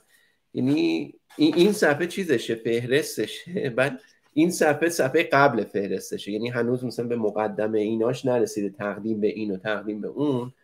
ولی این جمله اینجاش من گیر انداخت موندم روش. از یکی دیگه هم هست. میگه از رابرت هنریه. میگه the object isn't to make art. It's to be in that wonderful state which makes art inevitable. بعد من اینو ویکند خوندم دیگه مثلا قفل بودم رو این جمله. میگه که هدف این نیست که اثر هنری تولید کنی. خب ببین این اینجوری چیز کرده این آدم رو پرورش شده اینه که تو اون شرایط فوق ای باشی که تولید اثر هنری ناگزیر, ناگزیر باشه. خب؟ یعنی میگه ببر تو اون حال که دیگه خود خودش ناگزیر تولید کنه. بعد فکر کنم کل leadership هم همینه کل management هم همینه. هدف این نیست که اونها deliver کنن. هدف اینه که تیم رو ببری تو state ی که deliver کردن براشون ناگزیر اون state خوب و جذابی باشه که همه شاد و خوشحال دلیور کردن ناگزیر باشن. یعنی بتونن هی دلیور کنن. این به نظرم جالب بود. حالا من میگم صفحه قبل فهرستش رو خوندم توصیه می‌کنم بقیه هم تا همین صفحه رو بخونن. خب خوبه زیاد نیست. یعنی سمپل امازارش هم بگیرن از آره. هم بگیرن توشن. خب حالا که این اینو کم خوندی یه کتاب خوب معرفی کنم می‌تونی بیشتر از یکی معرفی کنی که فکر کنی مفیده حالا می‌تونه fiction باشه یا non-fiction باشه. یه کتاب خیلی قدیمی که تو دهه 90 خوندم و به نظر من foundational بود ولی احتمالا چیز شده الان دیگه دیگه مثلا همه چیزش mainstream شده چیز جدیدی یاد نمیده. Peopleware بود خب؟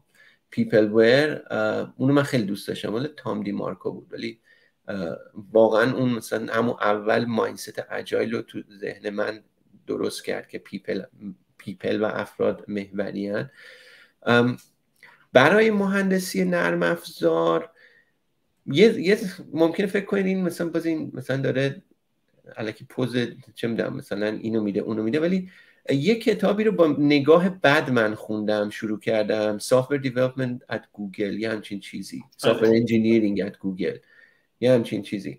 با نگاه بد خوندم که اه بازم مثلا اینا اومدم مثلا حالا of گوگل بود ولی خیلی خوب بود. اینجوری نبود. اومده ساختار software development تو گوگل رو شرح داده و خیلی جالب گفته که چرا تو خیلی جاها گوگل خلاف جهت شنا کرد.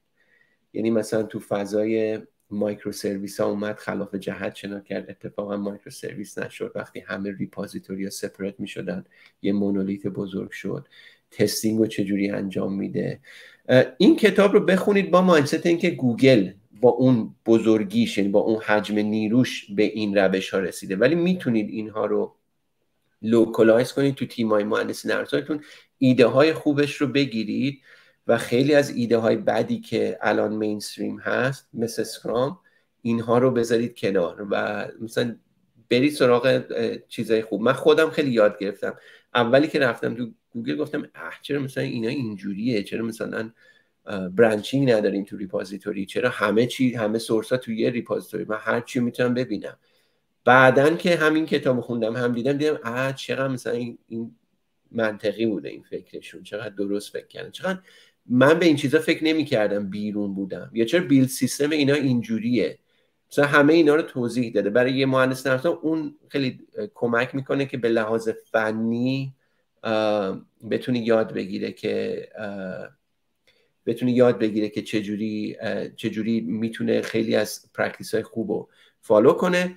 در زمینه engineering management واقعا کتاب خوب نمی‌شناسم. یعنی دیدم هر کدوم یه گوشه ای ازش رو دست گذاشتن روش.